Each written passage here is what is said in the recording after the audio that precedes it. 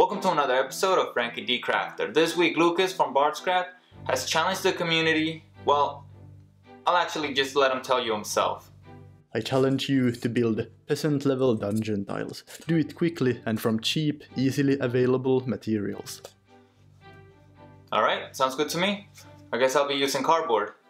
In this challenge I'll really be taking advantage of my drawing skills, but to be honest with you, you don't need to be an amazing artist or a good artist to get done what I get done in the video.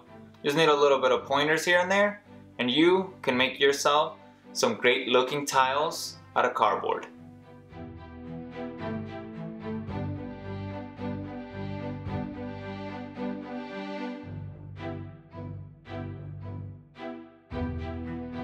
I start off by picking some scraps I have laying around.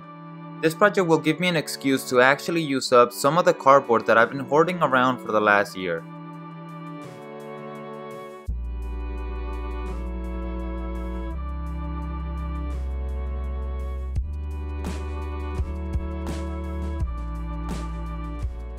I like to make my tiles 4x4 because I find it easier to make rooms out of this measurement.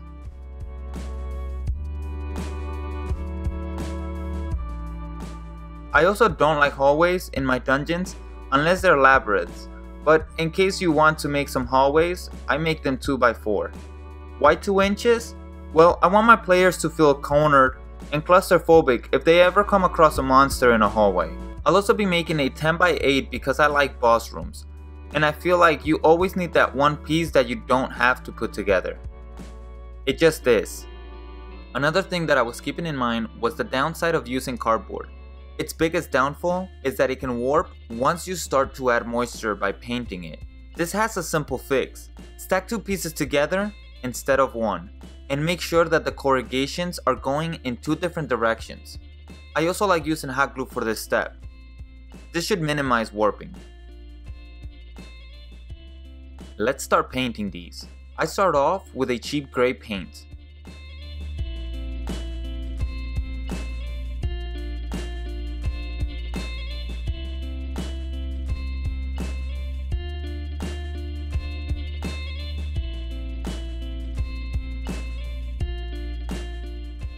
And to add detail, I start dabbing a lighter gray to the board. I make sure to try to get a lot of paint off the brush before I actually apply it onto the tile. This way I have more control over the design. It's always easier to add than to retract.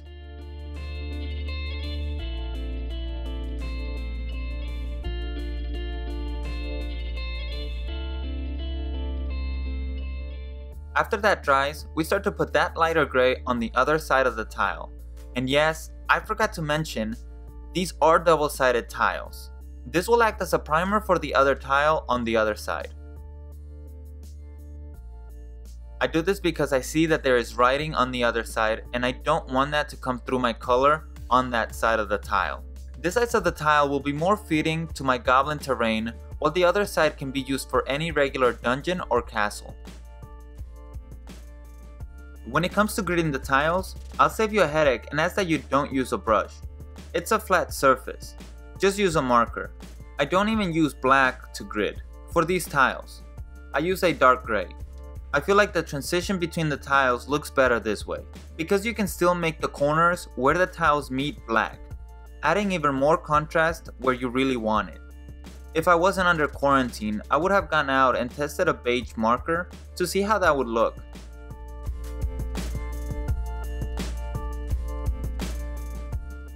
As for the beige side, I use an even lighter gray.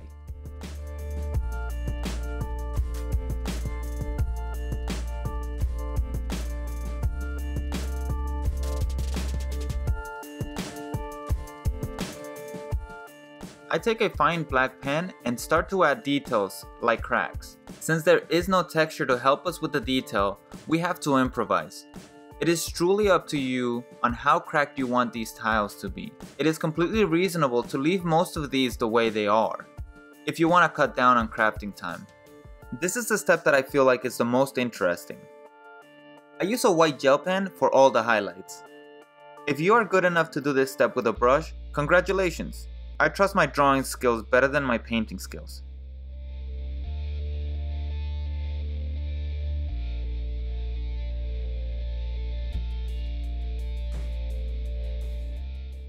I even use it for dots on all the tiles. I feel like this is a great way to fake texture on flat surfaces. It's effective enough without any fancy techniques.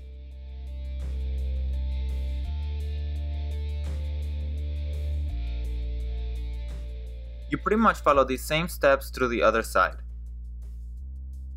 Another step you might want to do is to highlight the cracks by adding more lowlights.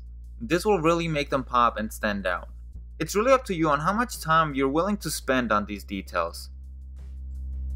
And that's my take on great looking tiles on the fly on the cheap. I think I did alright? Considering I only use cardboard?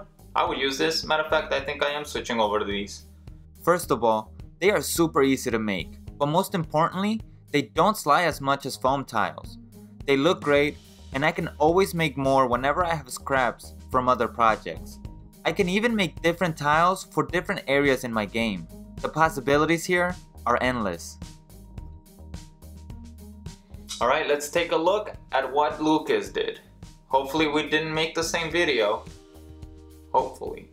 I should have guessed he was gonna use oatmeal cardstock here, but I'm still impressed with the finished product. Looks like he was also able to get a lot of detail despite the flat surfaces. I would definitely make these for my table. I think it's impressive that we were able to come up with completely different ideas for such a simple material. It goes to show you that you don't need fancy material to make fancy terrain. Also don't forget to take a look on his channel after you're done here on what might be the most essential piece of terrain for any crafting channel or any crafting table. And like always, if you like what we do here, subscribe. And if you want to help the channel a little bit more, you can always check out the Patreon page where awesome people keep this channel going. Alright? I'll catch you on the next one.